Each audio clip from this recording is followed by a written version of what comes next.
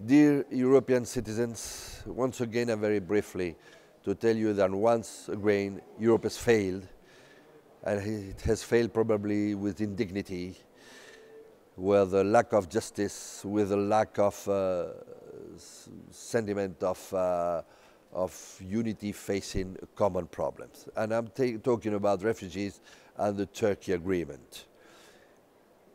It's evident that Europe should only be just, fair, practical, if it uh, fights this problem of the refugees, united, centralized, with a common response, with a distribution in Europe, with even refugee camps, if you need them uh, shortly, in Europe, with a centralized um, system of defense controlling the borders, European, not only Greek, because we cannot charge our Greek colleagues of this burden.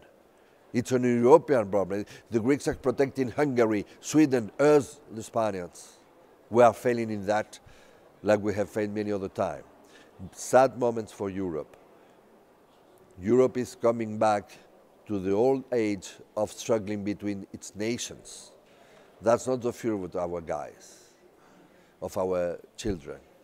So please, go to the streets and ask for good governors, for clever and responsible politicians, and ask for more and better Europe right now. Tomorrow it will be too late.